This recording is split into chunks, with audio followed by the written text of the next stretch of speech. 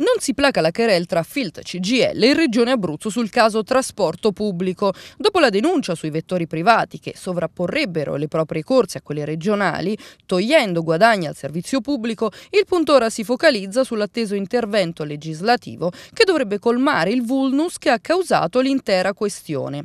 Proprio ieri si è svolto l'incontro davanti al prefetto di Chieti alla presenza di tutti gli attori del caso, regioni e sindacati. La regione non ha eh, rilasciato alcuna autorizzazione a, ad un vettore privato per poter espletare il servizio in concorrenza su un tratto eh, che è contribuito e ci riferiamo al, alla tratta L'Aquila-Roma. Questa situazione permane, noi in occasione del, della convocazione che c'è stata in prefettura per lo stato di, di agitazione che è stato proclamato in Tua, abbiamo avuto la presenza anche di alcuni funzionari della regione che hanno confermato questa situazione. A seguito del mancato accordo tra regione e sigle sindacali, la CISL Filt annuncia due scioperi, uno nei confronti della regione e l'altro nei confronti dell'azienda di trasporto unico Tua, entrambe previste per il mese di maggio. Uno sciopero proclamato per avere più risorse eh, ai trasporti, visti gli ingenti tagli che sono stati eh, effettuati sia dal governo regionale ma anche dal governo nazionale. Le regole proprio affinché la regione predisponga in tempi rapidissimi